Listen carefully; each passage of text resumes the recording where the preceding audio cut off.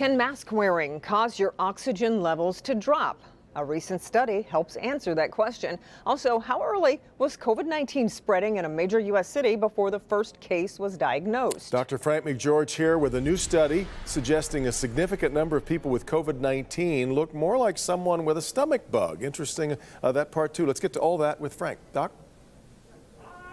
Yeah, Devin and Kim. So COVID-19, of course, usually looks like an upper respiratory infection with a cough and fever.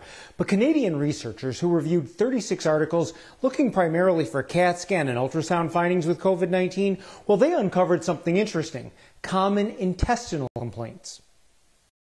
The paper, published in the journal Abdominal Radiology, found 18% of COVID 19 patients presented with gastrointestinal symptoms, including loss of appetite, nausea, vomiting, diarrhea, and abdominal pain. Furthermore, their review found 16% of COVID patients only had intestinal symptoms.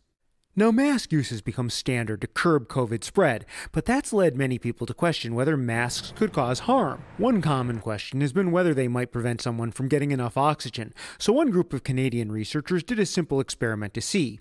The results were published in the Journal of the American Medical Association.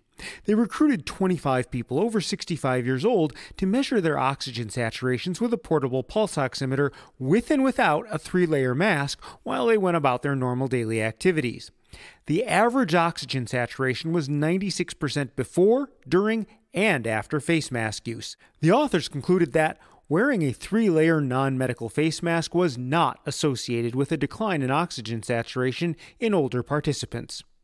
Now, finally, a new study published in the journal Nature using more than 10,000 plasma samples collected in New York City between February and July of this year found, based on the presence of antibodies to the SARS CoV 2 virus, it was spreading and circulating as early as mid February, well before the first documented case on March 1st.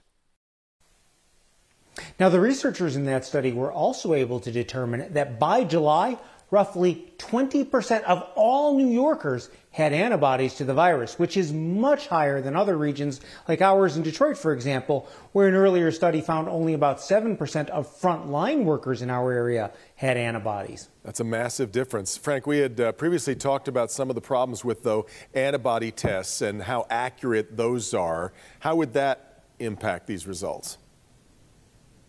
Well, important point. You know, at this point, antibody testing still should not be used on an individual level to tell if a person is immune. But on a larger population level, it does give a good indication of a past exposure. And in this setting, for epidemiologic purposes and basically logging prior exposures, it's actually a really useful test, and those results are strong. Yes, says, says, more about a group than it does the individual with the test, which kind of leaves them uh, still not exactly knowing mm -hmm. what they want to find out. Yeah. All right, Doc.